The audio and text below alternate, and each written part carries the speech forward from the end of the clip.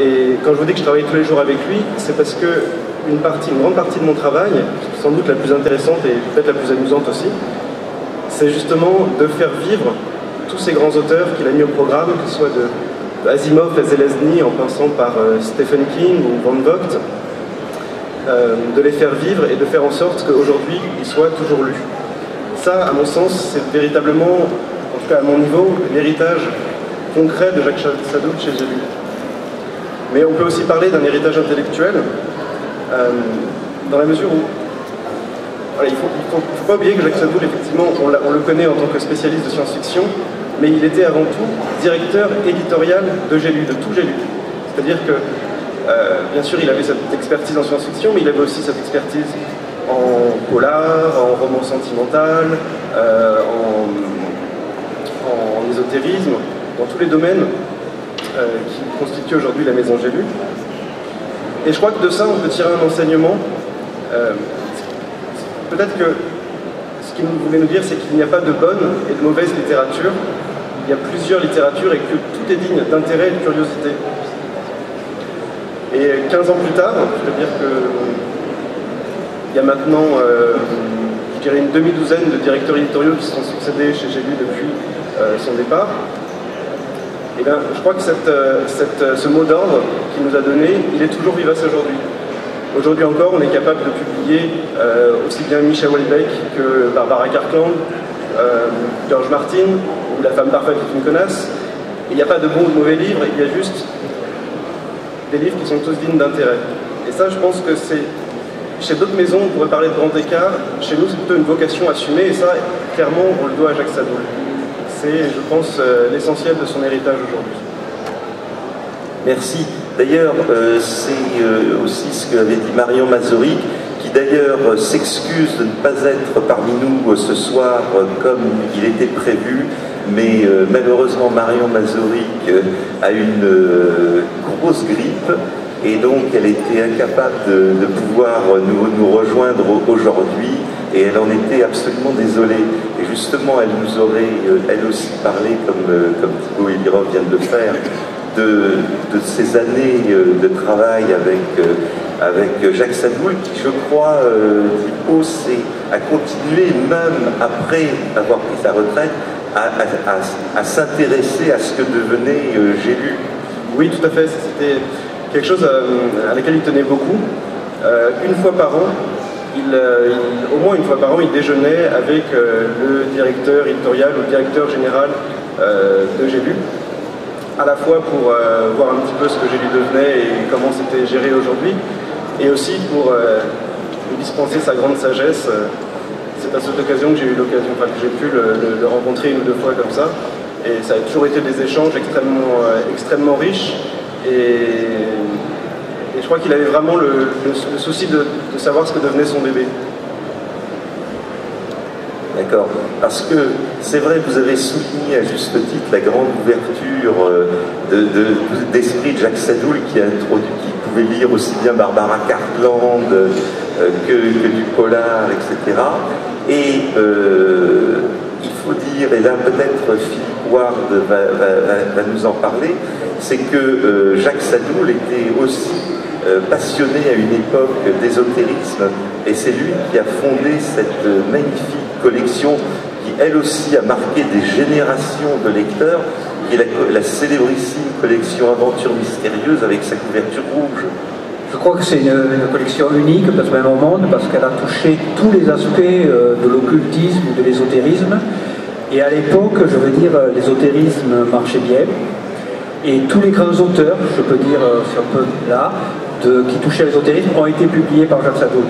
on peut dire qu'il a publié tous les grands auteurs de science-fiction et de polar, mais il a aussi publié tous les grands auteurs d'ésotérisme, que ce soit dans la magie, que ce soit dans l'alchimie, que ce soit dans, les ovnis, dans l'archéologie mystérieuse. Il a publié peut-être des choses qui font rire, qui feraient rire maintenant. Je pense au fameux mois de bouddhiste, Thé, l'obscène grand-pas, avec sa sagesse. Mais vraiment, cette collection, elle, a marqué les gens parce qu'elle était elle tombait au bon moment. Il a su trouver le bon moment de cette collection. Elle m'a marqué à moi, mais hein, comme disait Jean-Luc, elle marquait beaucoup les, gens parce que c'est une période où on s'intéressait aux ovnis. Je veux dire que tous les grands auteurs euh, anglo-saxons américains ont été, traduits.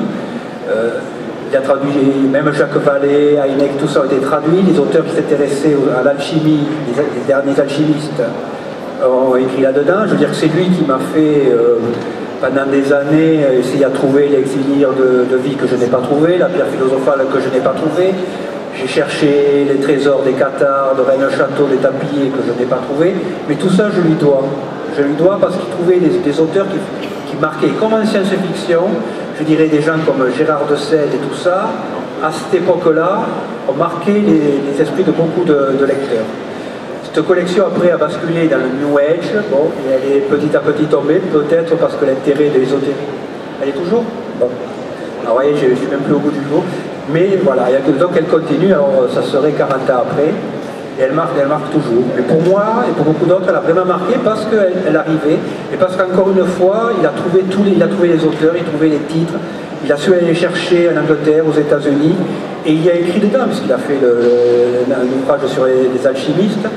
Et là, je pense, là, malheureusement, je n'ai pas pu discuter trop longtemps avec lui là-dessus, mais c'était quelque chose qui, quand on voyait cette collection, devait le passionner. Oui, il s'est vraiment passionné pour ça, au point d'ailleurs, vous voyez par exemple ici, l'une des traductions en portugais, il a écrit deux ouvrages euh, sur, euh, sur l'alchimie, le grand art de l'alchimie et le trésor des alchimistes, et il a écrit un ouvrage sur l'astrologie qui s'intitule L'énigme du zodiaque, et auquel il a appliqué son esprit euh, d'analyse, et au point ce sont devenus des ouvrages classiques en la matière, qui ont été traduits dans de nombreuses langues, en particulier en italien, en portugais, euh, en, espagnol, et il y a appliqué la même chose que l'on pouvait trouver aussi dans d'autres ouvrages qui sont peut-être plus connus de lui, moins dans le, euh, public des utopiales, euh, comme son histoire de la science-fiction moderne, en, deux volumes, son histoire, son panorama de la bande dessinée, là aussi, à chaque fois, il appliquait un esprit d'analyse qui était absolument remarquable sur les domaines auxquels il s'intéressait. Et naturellement, je pense que peut-être l'un d'entre vous voudra aussi aborder un peu euh, l'une des, collections à l'intérieur de, de lu science-fiction qui ont le plus marqué là aussi des générations de lecteurs, c'est sa série des meilleurs récits de ce pulp attiré des, des différents pulps qui nous ont fait, qui ont fait rêver tous les lecteurs français. On s'est dit pendant des années, grâce à Jacques Sadoul, on a pensé que la science-fiction des pulps de l'âge d'or aux États-Unis, chaque mois, les lecteurs américains avaient droit à, des merveilles extraordinaires bah, à cause de lui. Donc, euh, peut-être, est-ce que l'un d'entre vous voulait en parler un petit peu? Mais moi, j'ai découvert, par exemple, la, revue Wertels par lui. Et à cause de lui, j'ai dépensé beaucoup d'argent pour me procurer cette revue.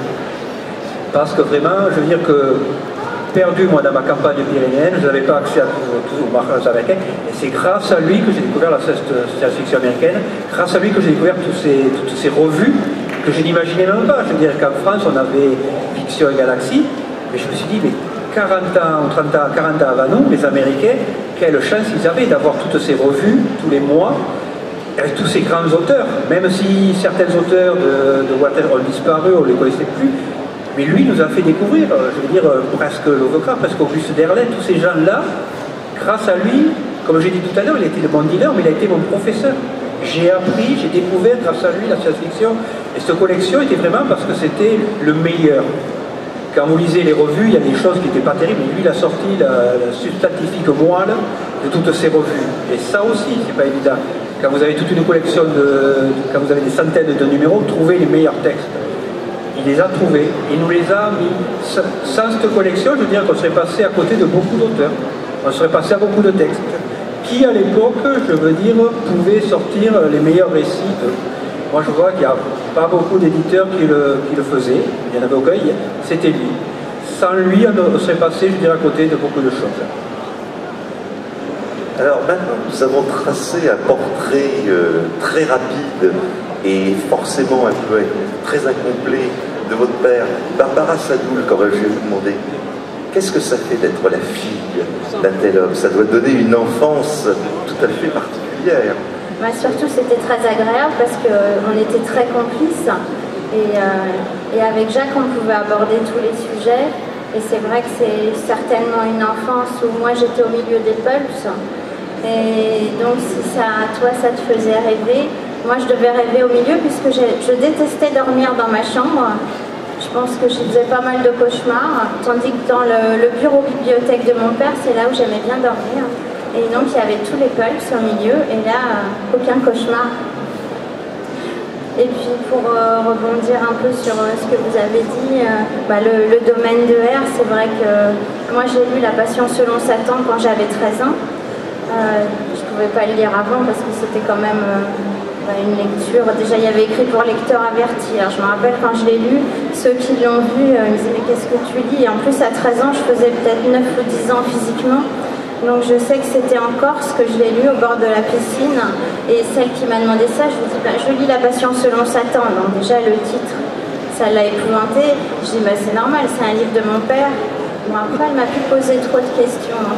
Mais euh, la passion selon Satan, c'était aussi donc cette maison, le domaine de R, elle existe vraiment, puisque euh, c'est là où maintenant il y a la bibliothèque. Et donc euh, il y a tout un côté un peu fantastique, presque réel, là, puisque c'est un ancien hameau, il y a plein de chauves-souris le soir, c'est sur une hauteur, un ancien moulin, donc il y a toute une atmosphère. Et c'est la même atmosphère que j'ai connue à chaque vacances pendant mon enfance et la même atmosphère que mon père lui a connue, puisque cette maison lui a été offerte euh, quand il est né par sa marraine. En fait, sa marraine ne pouvait pas avoir d'enfant, trouvait euh, mon grand-père très beau, mais il était euh, bah, trop jeune pour elle, donc elle lui a fait rencontrer ma future grand-mère et elle a dit que si eh bien, ils avaient un fils qui naissait le 8 décembre, puisqu'elle elle était très croyante, contrairement à mon père, il aurait cette maison. Et donc cette maison qu'on retrouve euh, dans son œuvre, elle a aussi tout ce côté-là. Et je pense que c'est pas l'auteur moi auquel je pense quand je pense à mon père, c'est plutôt euh, bah, celui avec qui je partageais plein de passions et cette passion pour le sud-ouest, pour la nature, puisque euh, Jacques aimait vraiment se balader dans les champs. il a fait un livre de photos qui s'appelle Ma Gascogne et ça représente vraiment son amour pour cette région.